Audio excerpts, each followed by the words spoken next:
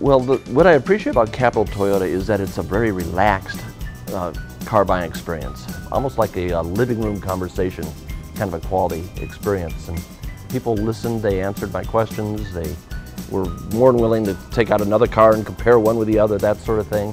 Felt like I had friends that were helping me make a good purchase on a great car. I got it my way on the Parkway.